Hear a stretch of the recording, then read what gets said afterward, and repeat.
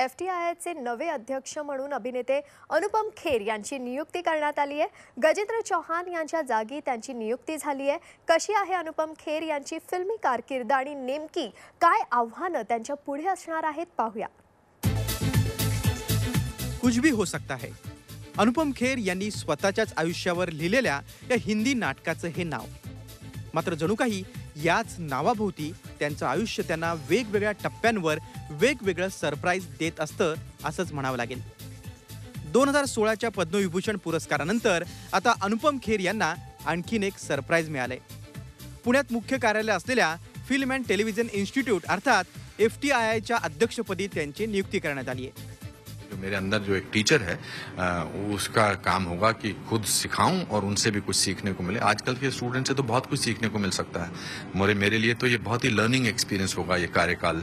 और intention correct होनी चाहिए। तो मेरी इंटेंशन करेक्ट है। मैंने हर लैंग्वेज की फ़िल्म की है हिंदुस्तान में। तेलुगु तमिल मलयालम पंजाबी इस सब फ़िल्में की हैं। उसके अलावा मेरा एक्सपीरियंस इंटरनेशनल सिनेमा का है।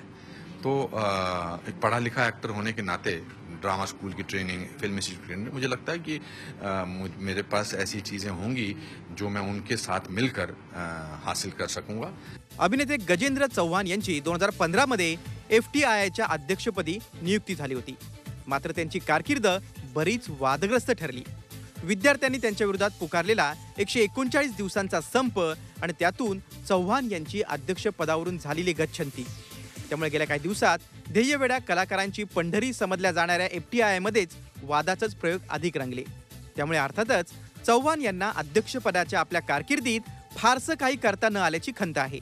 त्यांनी आता नव्या इनिंगसाठी अनुपम खेर यांना शुभेच्छा दिल्यात. देखिए मेरा कार्यकाल जो था वो तीन मार्च 2017 को समाप्त हो गया और मुझे जितना भी समय मिला जितना भी अच्छा काम मैं कर सका मैंने किया और उसका जो सर्टिफिकेशन है वो है कैग रिपोर्ट। तो मैं ये कह सकता हूँ कि अनुपम खेर साहब को अभी अपॉइंट किया गया है और मुझे उम्मीद है कि वो अच्छा काम करेंगे। Anupam Kher as a chairman of F T I is a great news for the industry Kher Saheb a person has a great body of work in the Indian cinema as well as international cinema film इंडस्ट्रीतून Anupam Kher यांच्यावर अभिनंदनाचा वर्षाव सुरू झाला असला तरी अनुपम खेर यांच्यासाठी मात्र ही नवी इनिंग वाटते तेवढी नक्कीच सोपी नसणार आहे.